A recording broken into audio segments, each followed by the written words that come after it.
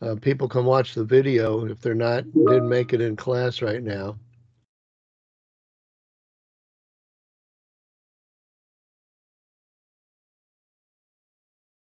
Okay, so screen one. Here we go. Um, okay, so we're uh, uh, we this is the second class now talking about processing, and um, uh, so let me let me just start get going here on some topics, and uh, we'll see. I want to give some examples of writing uh, some processing code, and um, so I actually have some examples already uh, done here, right along here, and so let me let me talk about those perhaps the best way to talk about them is sort of to retype things in here. Okay, I want to talk about this one right here. Um, and example, call example 1.1, stroke and fill. Now, um, okay, we talked a little bit about the size command. So let me begin with that. Size gives us the size of the graphics window that we're going to be using in that particular processing program. So I'll make the, the window 480 units wide and 270 units high. So that's what we're doing here with size. Now background, I don't think I talked much about that. The background of the window can be anywhere between white and black or a gray level in between, which is all I'm talking about now is gray levels, uh, 255. 255 is a completely white background. So I put 255 in here, the background's going to be white. And if I have zero in there, the background's going to be black, and I'll show that. Uh, and then anything in between gives me a gray level. So let me show that. I'll hit run here. I should get that window. Here's the window, and it's completely white there. And then I said if I put zero, it's black. Now if I put, um, let's say uh, 180, it'll be a gray level. So let me run it again. And there we have a gray. So the number in here, zero being black, 255 being white, there that makes a total of 256 um, possible levels of, of black to white gray. Uh, 256 is the representation by an 8-bit uh, word. 8 bits is the number of, of possible values that an 8-bit word can take is 256. One bit is two levels. Two bits is four levels, two squared. Three bits is two cubed, eight levels. Four bits is two to the fourth, 16 levels. You go all the way up two to the eighth is 256. There are eight levels because there are 256 different numbers that you can represent with an 8 bit binary word. Okay, so now, so I have background, okay, stroke. Stroke determines the width of the line that is used when we're drawing graphical elements, when we're drawing rectangles, squares, ellipses. So, and stroke zero here is indicating that uh, uh, uh, I mean, superficially, we say, gee, we're drawing a line which has no width. And you may have seen stroke before if you use Adobe uh, Adobe drawing tools, Adobe Illustrator, for example. I believe that you use a stroke command in, in Adobe Illustrator. I haven't used Adobe Illustrator in in in years, so I don't remember everything about Illustrator. Fill is when we draw something what is the gray level that fills. We draw a rectangle. Fill tells determines the gray level that is that fills the rectangle. Fills 250 or 150. And then we have rectangle. Now here's the rectangle I'm drawing. And uh, a 50-50 is the upper left-hand corner of the rectangle. And then the width of the rectangle is 75. And the height of the rectangle is 100. Close paren, semicolon. So let's see what this gives us here. So we're drawing a rectangle drawing, here's our window. We're drawing a rectangle in the window. Now notice that the background is 180. So if we fill the rectangle with 150, it's not going to be all that different. Let's run. There we go. So here's a rectangle. Here's the background. I could change the background of the rectangle to be completely white But putting in 255 and uh, run it again. So there we go. You might wonder what happens if I put in a number that is not 0 to 255, like I put in 256. Do we get an error? What happens? And we get black. Now, um, so uh, now as a computer guy, what this tells me is that we start with black at zero and we get increasingly brighter gray levels and we go up to 255. Then when we get to 256, we cycle back to zero again. And then we go through new gray levels until um, we get up probably to 511 might be black again. Um, and uh, so um,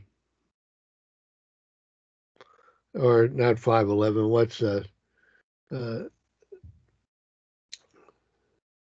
well let's let's hear let's just do this and, and rather than just speculate. Okay we notice that 256 is black again. So let me add a hundred to this. So that would be like uh, uh, possibly putting a hundred in. Let's do a hundred. Here's a hundred. Uh, I'm sorry, 356. So I wanted to add 100 to 256. 256 gives us, I want to write 356. 3, and then 56. Let's try running this. Okay, now why I'm getting kind of a blue here. So this is giving me a color. And um, so let's just keep going with this. Let's put 500 in. Okay, now um, I think I know what's going on here, but it's sort of past the the the complication of the lesson. So we notice if we put something other than the range 0 to 255, what we get here is potentially unpredictable. So let me go back to 255, 255, and run it. 255 should give us a white background. That's what I have here, which is I'm copying this. Okay, so um, fill, I said, determines the gray level here. Now let me put 255 in for that. That would be the largest value I can get there. Okay, so I have white box and a white background, and we notice you're seeing just the outline of the box. And the width of this line is determined um, potentially here by stroke. Let me change stroke. Let me change stroke to 10. See what happens. Now I'm not seeing anything here, okay? Any change at all. Stroke 10, fill 255. Let me put 100. Okay, so that's not affecting that right there. And uh, fill 255 rectangle here. Now, when we come across and we don't know exactly what it means, or uh, we uh, we uh, you know don't uh, uh, never used it before, don't remember, uh, we can go back into see if I have it here somewhere. I don't see it here. Okay, let me go back into Safari here. We can go into the processing.org. Let me go there.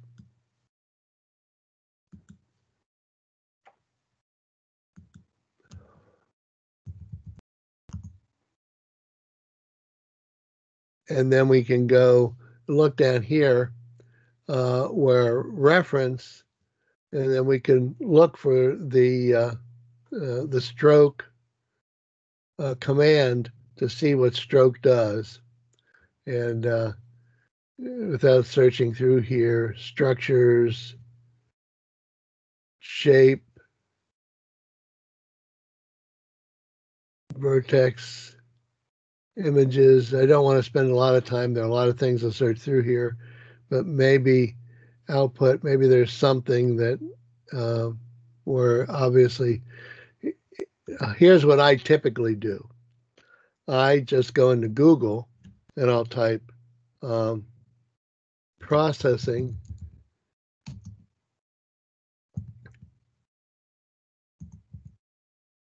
stroke. And the stroke command has an open and close.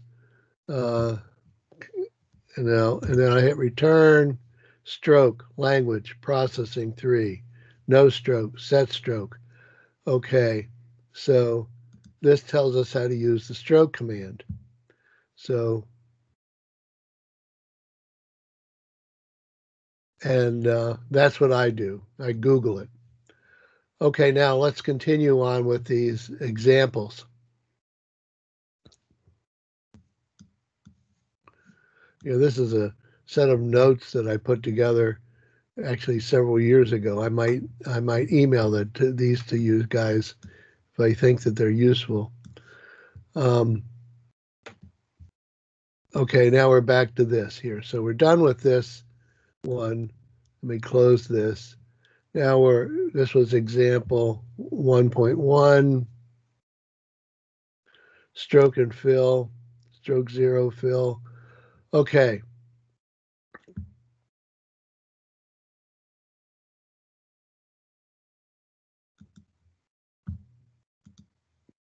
Let me start with a new box here. Okay, stroke and fill. Now, no fill. What does no fill do? Well, rather than type this all, example no fill, copy. Let me paste it in here. Okay, size, we know what that does. Background, we know what that does. No fill leaves the shape. Let me make this wider with only an outline. So that is like making um, fill 255 and background 255. So we only see the outline. So this leaves the shape with only an outline. And um, I set stroke to zero and I draw an ellipse. So let's see what happens here. So there we are. Here's our background box. And um, here is our ellipse with, with the, the this is the uh, uh, this determines the position and the width of the width width of the of the ellipse in the x and y direction. So here, let me just change this to 100 so we can see what that does. There's 100. Okay, here is this thing. Let's do run. So we see it moves to the right. Now, if I change this to 100, then it should move down from that position. So we've now moved a box which which was located at 60, 60 and moved it down here. Now, the question, of course, is, is this, does this represent the center of the circle or something else? So let's just put in zero and see what we get. So what I'm doing here is I'm doing experiments with the numbers to see what happens. This can be really useful to do this. So notice I put in zero, zero. It looks to me like we're drawing the circle and the center of the circle is at zero, zero. So this is the center of the circle. Okay, let me go back and put in 10, 100 here, and then 100. So now it'll be centered at 0, 0. It'll be 100 wide. I mean, it, this will be the, the center of the circle will be at 100, 100. And the, this is the width in the x direction and the width in the y direction. Okay. So um, this is the width. So the width here is 100, and the width here is 100. The center is at 100, 100. And this is what we do no fill. Now, if I do fill, then I put in 100. Let's see what happens. The function fill int does not exist. Okay. Let me go back here. Okay. So, um, let's, um, so we have size, background, 250, 250, uh, 255, no fill leaves a shape with only an outline, stroke, and we're drawing a circle, which is an ellipse with the x and y dimen uh, radii to be both the same.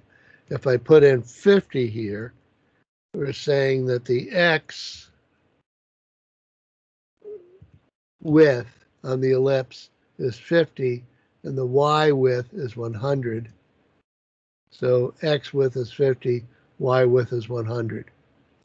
Okay, so that now gives me this, what this box here is doing. Okay, so we know what size does. We investigated background. And then fill, no fill, uh, what's going on here. Um, this is that determines the color or the gray level that goes inside what we draw. So we're drawing an ellipse this determines the color what that goes in there. And um, and notice here that fill begins with a lowercase f. So when I put an uppercase here, I was told that the command does not exist. So unfortunately, this is the way all computer languages are, that even a mistake in whether your character is uppercase or lowercase uh, can cause the, a command to fail. So if I put in fill with a lowercase, and then put in 100, what do I get? I have my ellipse width 50, height 100, it's filled with 100, which is a dark gray level. If I put fill zero, it would be black. Um, and uh, so notice that putting an uppercase F here would give me an error. Let me do it again.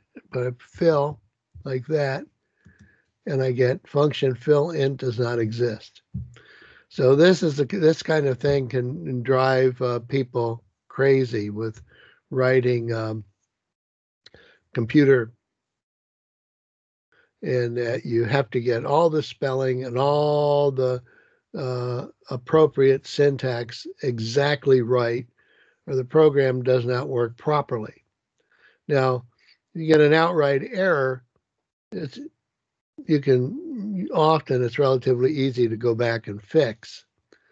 But sometimes what you have is a legitimate statement in the language, but it's not the statement you think it is.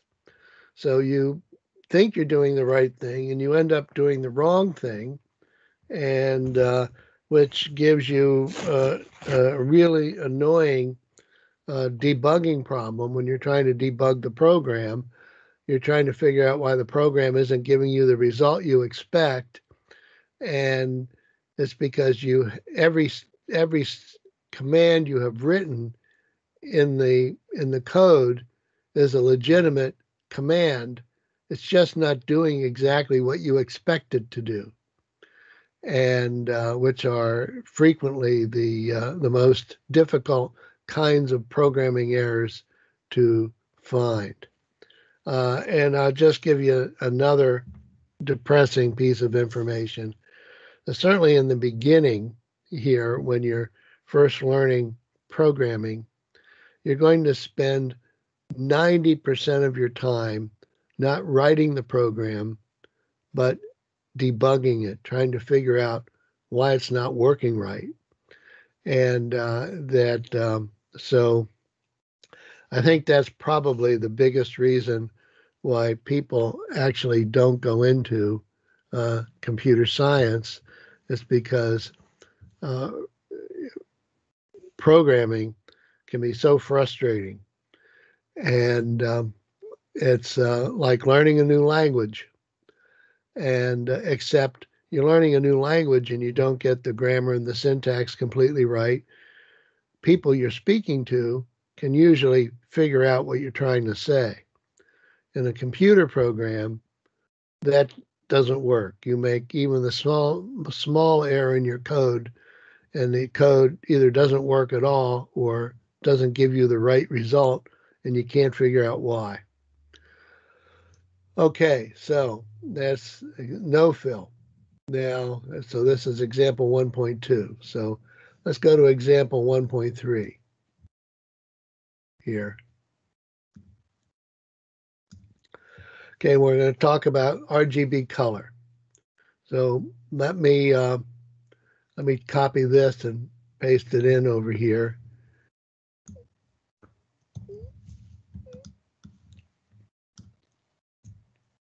Okay, I've been talking about gray levels, but uh, we can get red, green, blue, RGB, color. Now notice I have a background 255, no stroke, and um, okay, no stroke, stroke, no stroke. Um, bright red is this, dark red is this, and pale red is this. So let's look at these. Background 255 is the white background. Um, no stroke. Don't. We're not exactly quite sure what's going on with that yet. Uh, and we can investigate the command. We can go into Google and look and see what no stroke does. And um, but I'm not going to do that at the right now. Um, bright red. So if we fill, if we put in a single number, it gives us a gray level. But if we put in three numbers, the first number is the brightness of red, the second number is the brightness of green, and the third number is the brightness of blue. Red, green, blue. Red is 255, green is zero, blue is zero. So this will give us a fully bright red as, as a fill on the ellipse. Okay, we look down here, fill 127, 0, 0. 127 is midpoint of between 0 and 255. So we're getting sort of a, a, a medium red. Uh, they're calling it dark red here uh, for this ellipse. So here's an ellipse centered at this point, 16 by 16. So this is a circle with a diameter 16. Here's another circle located with this center and another circle with this center. So notice that 12700 gives us a dark red. Uh, we're going to draw it in a minute. And um, pale red is 255, 200, 200. Now, if this were 200, 200, 200, it would be a light gray. Uh, but by making the red level a little bit brighter, what we get is a pale red, uh, a red tint on the light gray. So let's look at this. Now here we are. Notice this thing is way too small. Should have done this bigger. And I think I'll do that bigger. Let's put um, size up here. Size.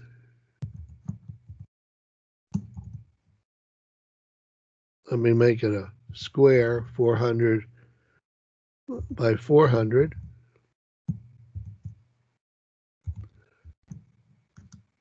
So now we have that, but we still have these three small circles. Let me make um, the first circle, let me do it at 50. Let me do it at 100, 100.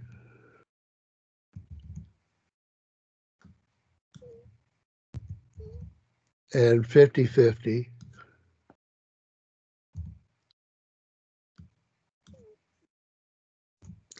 We'll put this at 200, 200.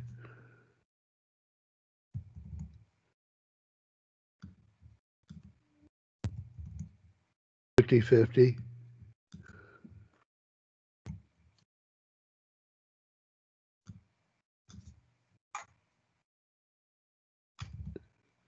And let me do this at 200, 300. Oh, no, I I'm, I was filled in the wrong thing there. Edit, undo, undo.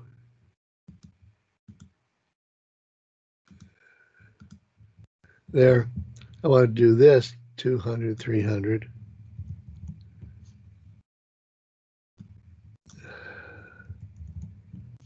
Fifty, fifty.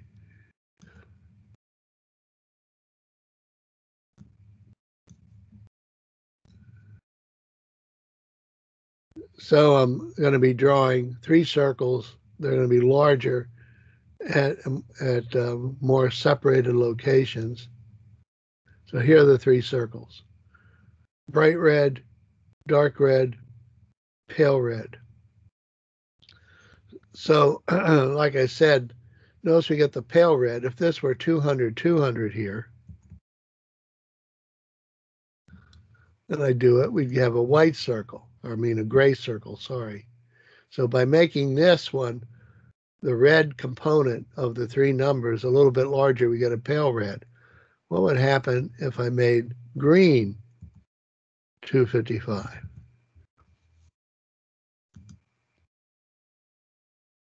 Okay, we have now pale green. So you see that? I'll go back to 200 and I made blue 255.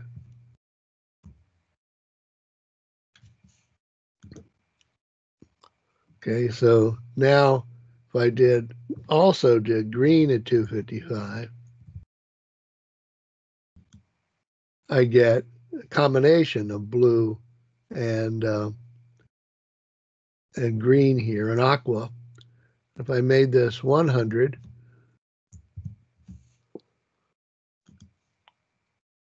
we had this. So you can see by changing each one of these three numbers, we are getting uh, a different color. So we can, can we can determine the color we get in the fill using the red, green, and blue numbers. Now, this is exactly the way JPEG images work. If I'm sure you're probably familiar with JPEG format images. Usually, when you look at a photograph online, um, the one of the the common um, types of photographs you look at are JPEGs or PNGs, which I call pings. So you have uh, and JPEG gives you exactly 255 red levels, 255 green levels, 255 blue levels. this is exactly the color range with a JPEG image, 0 to 255 on each of red, green, and blue. And then you can compute how many different colors that gives you, right? It's because there are 256, there are actually 256 levels because you can go zero is the first level up to 255. So that's 256. So the number of different colors you get in a JPEG image is 255 cubed because you have 255 red, 255 blue, 255 green. So the number of different colors is 256 times 256 times 256.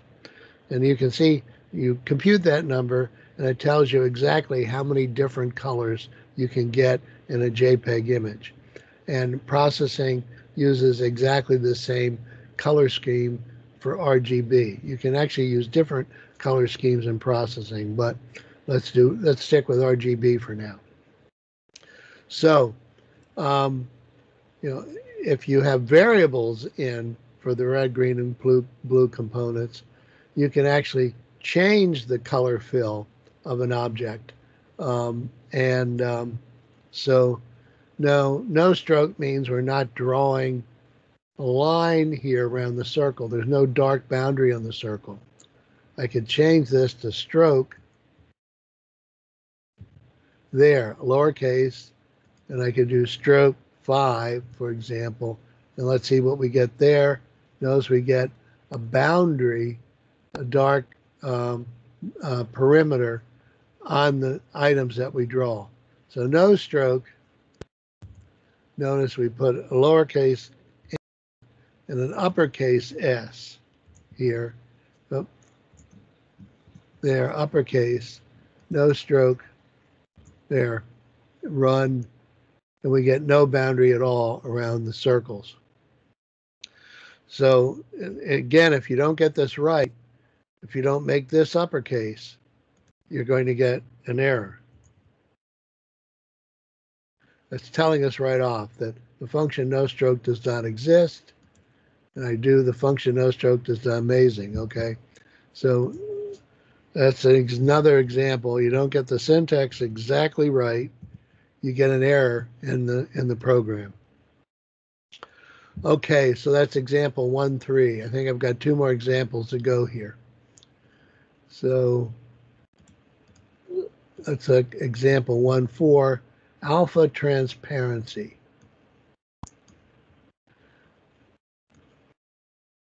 Let me copy this.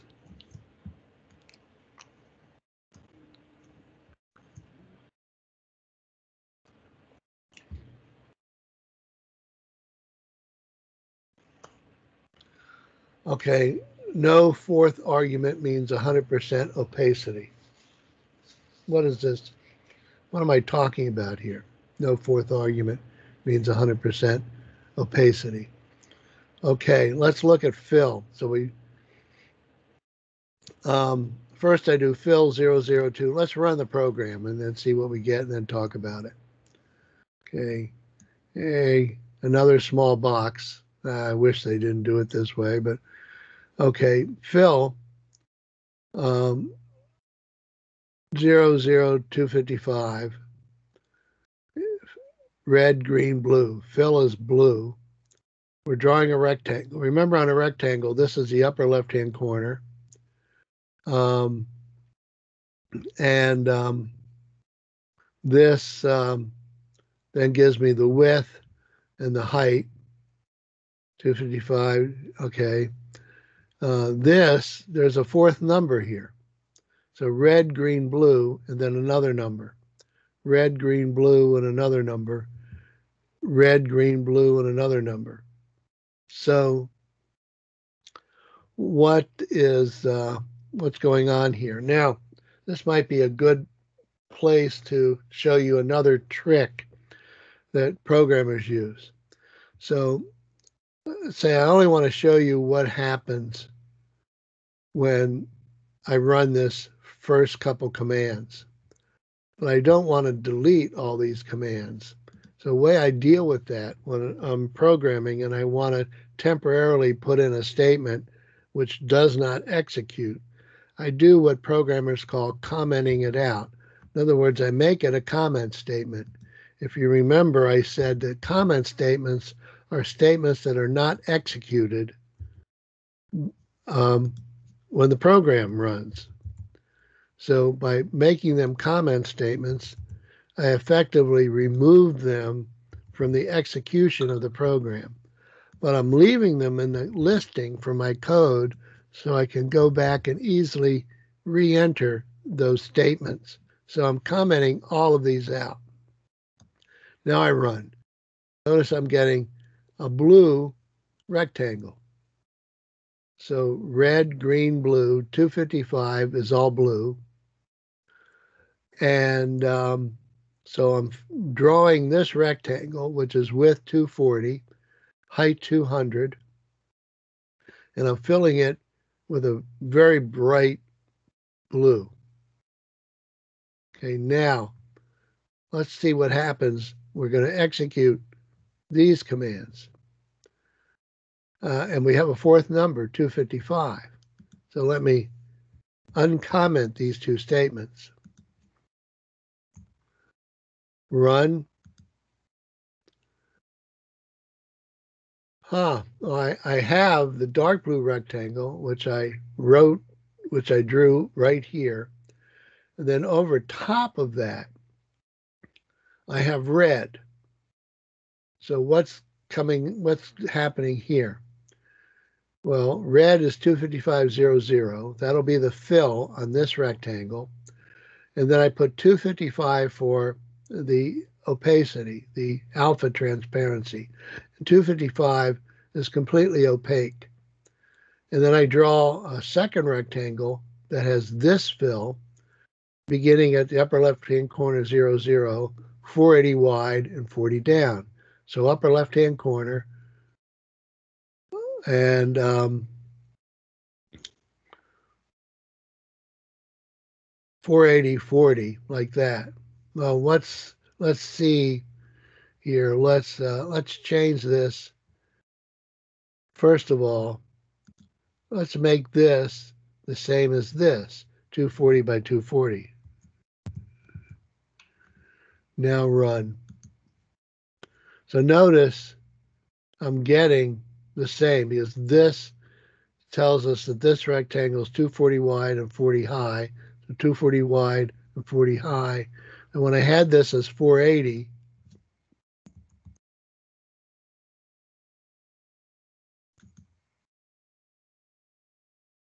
it uh, also ended here, right here.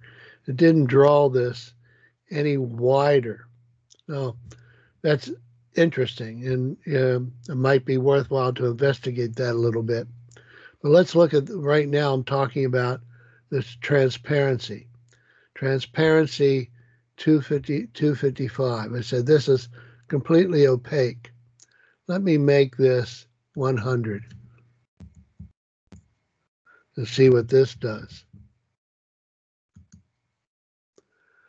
Okay, so this gives me this bright red but it has a transparency. That means what is behind the red is showing through. And what is behind the red is blue. If I made this zero, I wouldn't see that at all. So I'm drawing this rectangle, but it's completely transparent by putting a zero in this fourth number. So I'm not seeing it at all. So, um, so I get a bright red that's completely transparent, which is then the effect is to do nothing. And I have a drawing a rectangle with the upper, at the corner zero zero up here, making it 480 wide. Then now notice that it's wider here, this box is a small box. So we're not getting, we wouldn't be even seeing the full rectangle. Let's make a larger box there and see what happens. Size.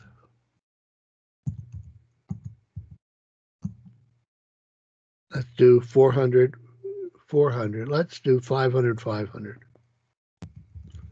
comma, 500. They're a larger box. Now draw it. So now notice here what's happening. You can see this full box here, which is 480, 40, 480, 40 down. Okay. The box um, here in this rectangle is completely transparent. What happens if I make this 100? So it's partially transparent. Notice I'm getting that red, but transparent red. It's like looking through a, uh, a transparency at the blue box underneath. And here, the background is gray. We never mentioned what we want the background to be on this rectangle. So it automatically has a default value, which we, which is a gray value. So we're drawing the blue. Over top of that, we're drawing a transparent red box, which is larger. We're getting this. So uh, that's pretty interesting. Okay. Now let's go back and let's investigate this here. Let me let me make this back. What was it originally? 255.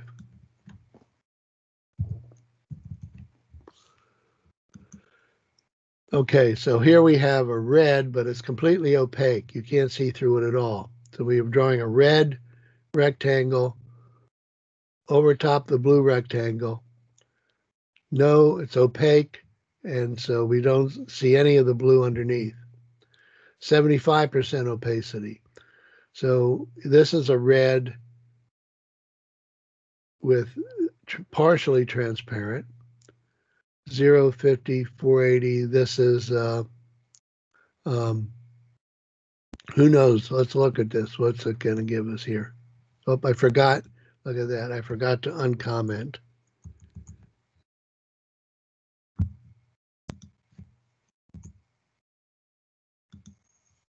Okay. So here is this, and so we're filling it with dark red, and it's partially transparent. Says 75% opaque. The rectangle is 0, 50, 480, 40. So same size rectangle as this, but the starting point is not at 0.0; it's at zero fifty. So zero fifty would be right here. So that's where it's starting. Okay, let's look at this.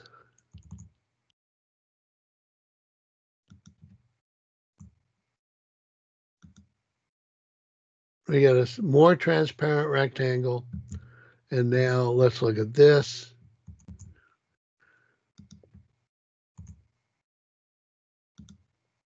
we have um, even more transparent rectangles. So gives you an idea of um, opacity and transparencies. is the fourth number in the fill command. Okay, so with that, let me go to the next and final uh, example for today's class, Zoog. What is a Zoog, you might wonder? Here, let me make it a little bit bigger here. There, Zoog.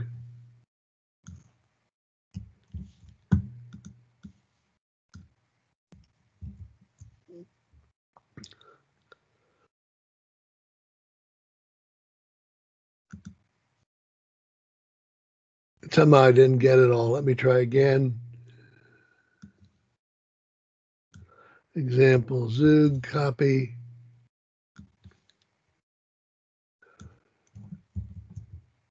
There we go. Okay, here we have a box, background, ellipse mode. I haven't talked about ellipse mode and rectangle mode. I'll be doing that later in the course, um, talking about those modes. But so I'm putting it in there today uh, without explaining it. And of course, if you wanted to figure out what those are, you can Google processing ellipse mode or processing rect mode here. Uh, so ellipse mode center, rect mode center. And what these do is they change the meaning of the first two numbers here. Instead of meaning the upper left hand corner, it determines where the center of the rectangle is. Similarly, um, telling us uh, something similar with the ellipse. And then we have drawing lines. So I'm actually doing an entire sketch here where I'm, let me run it and you'll see what I'm talking about.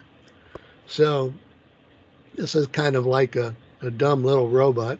Here's a head, two eyes, a body, and two legs. So we have a big rectangle, meaning a big uh, ellipse, a big circle, where uh, the x and y diameters are the same. Now, I looking at all these ellipses I draw, this one has an X and Y diameter of 60, 60.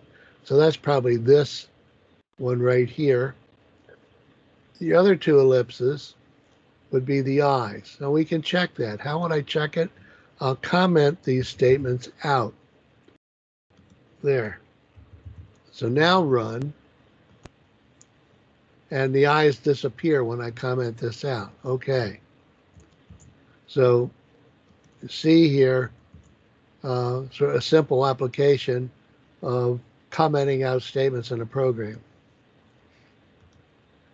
I could have done that with this to see, to see which ellipse draws the head.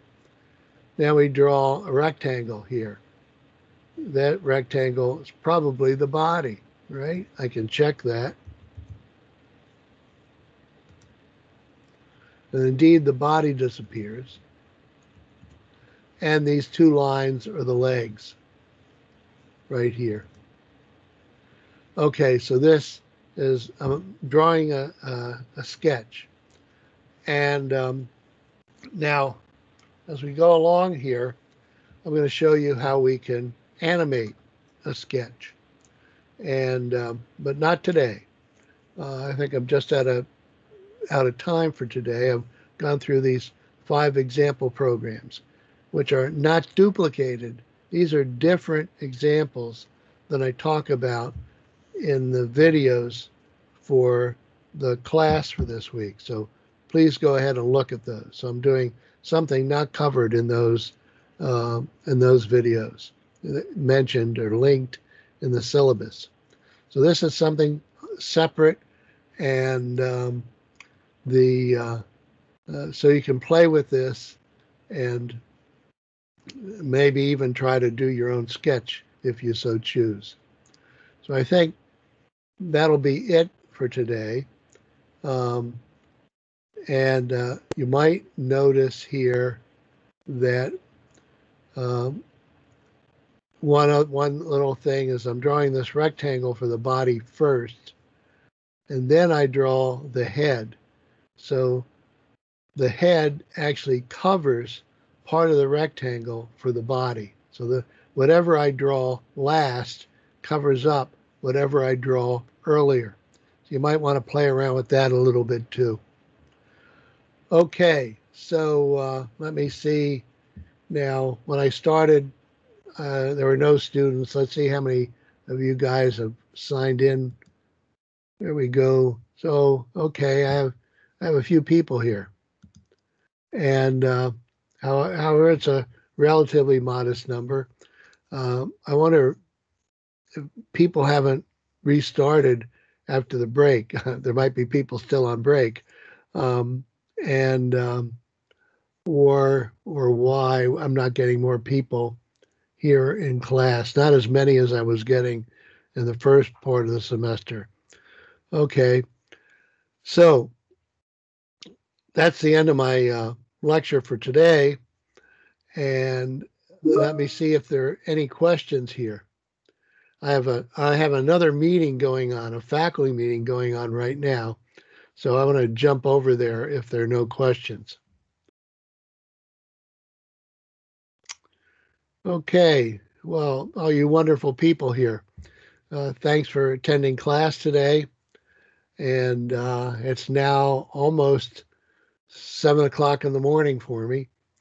So let me go see what's going on with my other meeting and I'll see you next week. Look at the homeworks, okay? Don't forget to do the homework. Um,